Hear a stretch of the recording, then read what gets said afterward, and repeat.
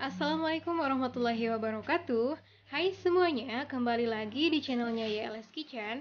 Hari ini saya akan memasak tahu lada hitam. Nah bagi yang penasaran apa saja bahannya, tonton sampai selesai ya videonya.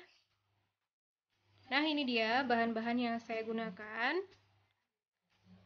Yang pertama di sini saya gunakan sauri saus lada hitam. Cabai hijau 4 buah setengah bawang bombay, 4 siung bawang merah, gula jawa atau gula merah, garam, dan juga penyedap rasa secukupnya.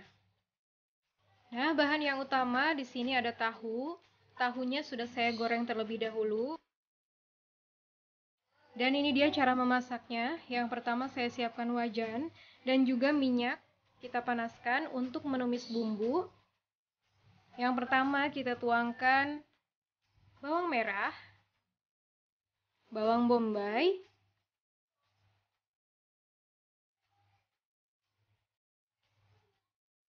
cabai hijau. Ini kita tumis sampai layu.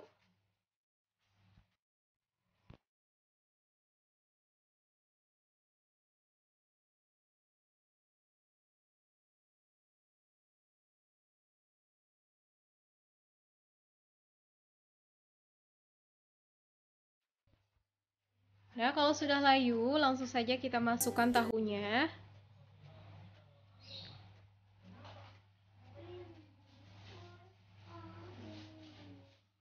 Garam dan juga penyedap.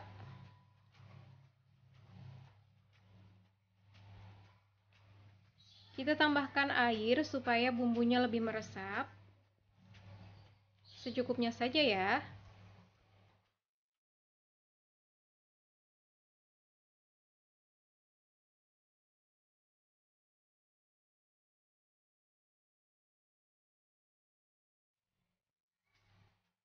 Gula merah secukupnya untuk penyeimbang rasa.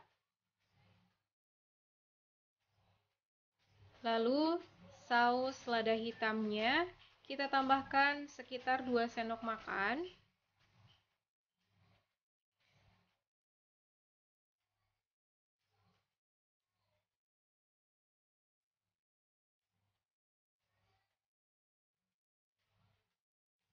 Lalu kita aduk dan tunggu sampai bumbunya meresap.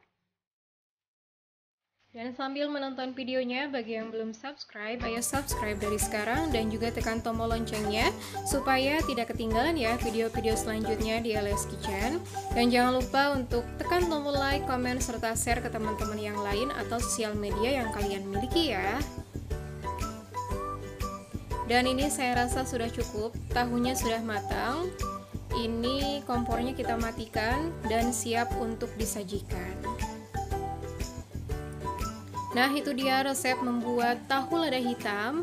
Semoga video ini bermanfaat dan nantikan terus video-video selanjutnya di Alice Kitchen. Terima kasih telah menonton. Assalamualaikum warahmatullahi wabarakatuh.